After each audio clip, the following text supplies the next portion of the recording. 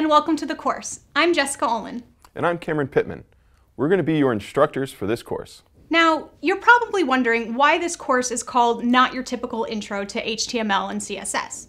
That's because we're not going to show you how to make a web page with a title and some body to start. Instead, we're going to show you a methodical way of breaking down a current web page and recreating it for your own purposes. Hmm. You know, HTML and CSS develop and change over time, but the underlying principles will always remain the same. Once you get a hang of those, learning the specific techniques is going to become a lot easier. In the first lesson, you'll learn how to look at a basic design mockup and translate it to HTML and CSS to create a basic web page. And in the second lesson, you'll develop a CSS framework, which will help you make websites much faster and easier.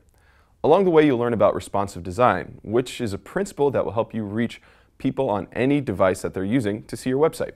In the last lesson, you'll be taking on a professional framework. You'll be building a static website using Twitter's Bootstrap framework, which is what professionals use in the field every day. Now, this course is just the beginning of your journey to become a front-end web developer. Here you'll build the foundations of your own online portfolio. We are really excited to have you. So welcome to class and let's get started.